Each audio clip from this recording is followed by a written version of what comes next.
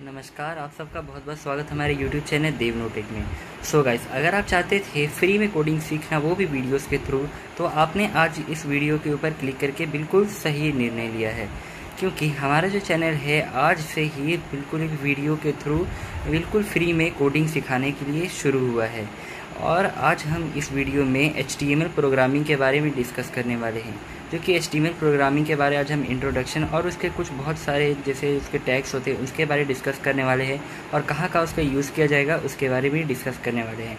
सो so guys अगर आप हमारे चैनल पर नए हो तो चैनल को सब्सक्राइब ज़रूर कर लेना क्योंकि अभी इस वीडियो के बाद भी और बहुत सारे वीडियोस आने वाले हैं जिसमें मैं एच या फिर सी और बहुत सारे से पाइथन और जैसे जावा जावा स्क्रिप्ट से रिलेटेड मैं वीडियोस को बनाता जाऊँगा। और आपके पास अगर सही तरह से नोटिफिकेशन नहीं जा पाए तो आप उस कोर्स को पूरी तरह से कंप्लीट नहीं कर पाओगे। सो so गाइस तो इसीलिए हमारे चैनल को सब्सक्राइब कीजिएगा और वीडियो को लाइक करते रहिएगा ताकि बाकी वीडियो से वो रिलेट करता जाए। सो so, तो चलिए वीडियो अब शुरू करते हैं। सो so गाइस तो अब आप यहाँ पर देख सकते हैं कि हम अपने कंप्यूटर स्क्रीन पर आ चुके हैं। तो मैं आपको यहाँ पर दिखाता हूँ कि H T M L is a standard markup language for creating web pages जो एच टी एम एल होता है, वो एक स्टैंडर्ड मेकअप लैंग्वेज होता है, जो कि वेब पेजेस को क्रिएट करने में मदद करता है। मैं नहीं चाहता कि आप डायरेक्ट हाई लेवल की लैंग्वेज पर पहुँच जाओ और उसके बाद में आपको बेसिक के बारे में पता नहीं रहे और आप, मैं जानता हूँ कि आपको आगे जाकर, अब जब आप हाई लेवल लैंग्वेज पर जाओगे, आप डायरेक्ट कोडिंग करना स्टार्ट करोगे, तब फिर आपको बेसिक्स की ज़रूरत पड़ेगी ही पड़ेगी। अगर आप इसे नहीं सीखो और डायरेक्ट अगर हाई लेवल लैंग्वेज पर चले जाओ तो फिर आपको दिक्कत ज़रूर होगी। तो मैं नहीं चाहता कि आपको दिक्कत हो तो इसीलिए मैं बिल्कुल बेसिक से स्टार्ट करके आगे वीडियोस पर मैं डिस्कस करता चला जाऊँगा। तो चैनल को सब्सक्राइब ज़रूर कर लीजिएगा। तो हम यहाँ पर अपने इस टॉपिक पर आ जाते हैं कि जो हमारा जो एच होता है S T M L is a standard markup language for creating web pages web pages को बनाने के लिए एल का जो स्टैंडर्ड मेकअप लैंग्वेज होता है, और व्हाट इज़ एस टी है क्या? तो H T M L stand for hyper text markup language H T M L का डिफिनेशन होता है या फिर स्टैंड फॉर अगर हम उसका माने तो हाइपर टेस्ट मेकअप लैंग्वेज माना जाता है। और नेक्स्ट उसका है H T M L is a standard markup language for creating web pages जो हमने ऊपर में आपको बताया था, उससे ही ये रिलेट करता है। और नेक्स्ट आ जाते हैं H T M L describe the structure of a web pages अगर हम किसी भी वेब पेज को बनाएँ तो फिर उसमें एच किसी का भी मतलब उस पर जो टैग यूज़ किए जाते हैं, वो किसी भी फ़ंक्शन को डिस्क्राइब करते हैं, यानी कि उसे डिफ़ाइन करने में मदद करता है। और जो अगला पॉइंट है, वो ये है कि H T M L consist of a series of element यानी कि एच टी एम एल जो एक सीरीज़ के जो एलिमेंट हम जो आगे बनाएँगे, मैं आगे आपको एग्जांपल भी दिखाता हूँ। थोड़ी देर आप वीडियो पर वेट कर लो। क्योंकि जो एच का जो सीरीज़ जो बनता है, उस पर थोड़े थोड़े मतलब टैक्स के बाद में आपको एक स्टॉपर लगाना पड़ता है, फिर उसको स्टार्ट करना पड़ता है। तो एक ये सीरीज़ बन जाता है तो वही इसमें बताया जा रहा है।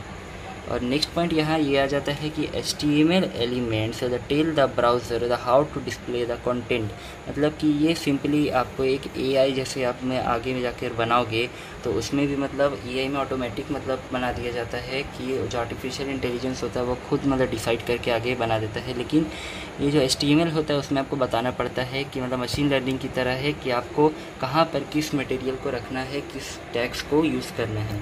और H T M L element level pieces of content. Such as this is a heading this is a paragraph this is a link etcetera और मैं आपको इसके आगे जो टैक्स होते हैं, जैसे कि ये एक हेड लिखे हेडिंग लिखने के लिए एच वन फिर उसके बाद उसको स्टॉप करने के लिए एच एच वन स्लैश का हम लोग यूज़ करते हैं। और पैराग्राफ के लिए भी पी वन और फिर उसे स्टॉप करने के लिए पी वन स्लैश का यूज़ करते हैं। लिंक के लिए भी सेम प्रोसेस है। तो हम लोग इसी तरह से इसको आगे बढ़ते हैं। तो हम अब हम लोग नेक्स्ट प्रोसेस की तरफ़ चलते हैं। क्योंकि हमारा जो चैनल आपको फ्री में जो कोडिंग क्लासेस की पूरी पूरी सीरीज़ देगा तो इसीलिए चैनल को सब्सक्राइब कर कर ज़्यादा से ज़्यादा शेयर ज़रूर कीजिएगा, क्योंकि बहुत सारे लोग ऐसे हैं जो कि कोडिंग सीखना चाहते हैं और कुछ फाइनेंशियल स्थिति ख़राब होने के कारण वो सही से कुछ कोडिंग के बारे में सीख नहीं पाते हैं, उनका जो सपना, वो सपना ही रह जाता है। तो प्लीज़ इस जो हमारा जो चैनल का लिंक है, उसे ज़्यादा शेयर कीजिए और अपने दोस्तों को भी बताइए कि यहाँ इस चैनल पर बताया जा रहा है फ्री में कोडिंग चल रही है। तो हमारा जो नेक्स्ट आता है what is an H T M L element H T M L का एलिमेंट क्या होता है? तो आपको यहाँ पे सीधे नीचे दिखा देता है कि tag content goes here tag name मैंने आपको जैसे पहले बताया था कि एच वन फिर एच वन स्लैश करके बंद किया जाता है किसी को। तो यहाँ पर आपको नीचे में दिखता है H one my first heading जो इसको हेडिंग के लिए यूज़ किया जाता है। एच से मतलब हेडिंग होता है। तो हम लोग इससे हम लोग याद रख सकते हैं कि एच और फिर वन मतलब कि पहला। तो फिर हम लोग इसको एच वन स्लैश करके यूज़ कर सकते हैं। और फिर दूसरा पैराग्राफ के लिए हम लोग पी फिर उसके बाद पी को फिर स्लैश दे करके ये कर सकते हैं। और टैग का टैग नेम देने के लिए फिर टैग और ये फिर टैग नेम ये एक एग्ज़ाम्पल है, ये कोई कोई हमारा टैग नहीं है। सिर्फ़ ये एग्जांपल के है। टैग असली में ये है एच वन पी वाला। और जो स्टार्ट टैग्स तो आप यहाँ पे देख सकते हैं H one P one B R ये तो बी आर तो किसी के लिए भी यूज़ नहीं किया जाता है। ये सिर्फ़ एक एग्जांपल है। मतलब कुछ नहीं है तो हम लोग बी आर आगे लगा सकते हैं। अगला होता है my first heading my first paragraph last last okay तो नेक्स्ट हम लोग चलते हैं। और यहाँ पर मैं आपको दिखा देना चाहिए the S T M element is everything from the start tag to the end tag मैंने जैसे आपको बताया था पहले हम लोग को स्टार्ट करना था फिर उसके बाद एंड करना पड़ जाता है। सो so, आप चाहे तो इस मेरे इस वीडियो में से आप स्क्रीन करके सेव कर सकते हो।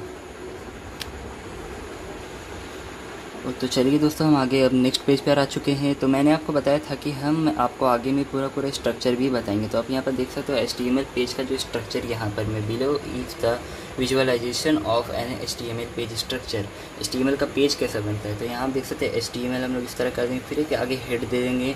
हेड का मतलब जो शुरुआती हम लोग कर रहे हैं, यानी फिर उसके बाद में जो टाइटल हमारा होता है तो पेज का जो टाइटल बनता है, जो हमारे एक साइड में ऊपर एक दिखेगा, जब हम इसे बना लेंगे तो। मैं आपको आगे एग्ज़ाम्पल भी अपने नेक्स्ट वीडियो में ज़रूर बताऊँगा तो चैनल को सब्सक्राइब और वीडियो को लाइक ज़रूर कीजिएगा। और यहाँ पर देख सकते हैं, जैसे मैंने टाइटल दिया तो टाइटल फिर उसको स्लेस देके यानी टैग का बंद कर लिया। फिर यहाँ पे हेड यहाँ ऑन कर दिया, फिर बॉडी फिर यहाँ पर एच वन यानी कि हेडिंग फिर पैराग्राफ फिर पी का मतलब अनदर पैराग्राफ मतलब कि जो पी के बाद में आता है। फिर यहाँ पर देख सकते हो बॉडी को हमने यहाँ पर क्लोज़ कर दिया, यहाँ पर स्टार्ट किया था बॉडी की, यहाँ पर बॉडी को क्लोज़ कर दिया है। जो आगे स्टीमल स्टार्ट किया था, उसे भी हमें क्लोज़ करना होता है। तो यानी कि आप स्टीमल प्रोग्रामिंग एक बात याद रखो कि जब भी आप प्रोग्रामिंग करोगे तो फिर उससे पहले आपको एक बार स्टार्ट करना हो फिर एंड भी ज़रूर करना हो। जैसा कि आपको पहले एक इसमें इस बताया गया था पेज में। सो तो आज के लिए बस इतना ही। हमारे चैनल को सब्सक्राइब कर कर नेक्स्ट वीडियो का इंतज़ार ज़रूर कीजिएगा। तब तक के लिए जय हिंद, जय भारत और ज़्यादा से ज़्यादा वीडियो को शेयर